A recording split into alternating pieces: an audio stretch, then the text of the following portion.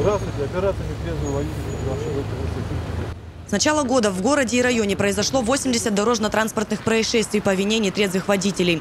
В 20 из них пострадали люди. И несмотря на то, что наказание за езду под шофе постоянно ужесточают, любители сесть за руль пьяным становится все больше и больше, говорят дорожные полицейские. Массовые проверки водителей на трезвость канские госавтоинспекторы проводят регулярно. В этот раз перекрыли участок улицы 40 лет октября, где останавливали каждый проезжающий автомобиль. Законопослушные горожане относятся к этому с пониманием. Какое ваше мнение по поводу рейдов э, против нетрезвых водителей? Очень нужны. Так и надо делать, продолжать.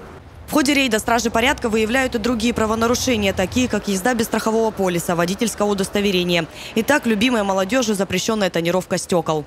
На стеклах передней дверки, которая установлена пленка, тонировка, на которой есть сомнение, что она пройдет по светопропускаемости. В настоящее время проводим проверку прибором, сейчас настроим его, и в вашем присутствии проводим замеры.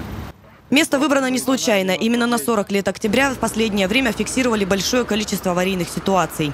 Целью данного мероприятия является выявление грубых нарушений правил дорожного движения со стороны участников дорожного движения. А, На данном месте проводим мероприятие в связи с проведенным анализом и с участившимися случаями управления транспортными средствами водителей, находящихся в состоянии алкогольного опьянения. На этот раз в рамках сплошной проверки сотрудникам ГИБДД удалось задержать двоих водителей, которые сели за руль в состоянии алкогольного опьянения повторно. Теперь им грозит вплоть до лишения свободы до двух лет.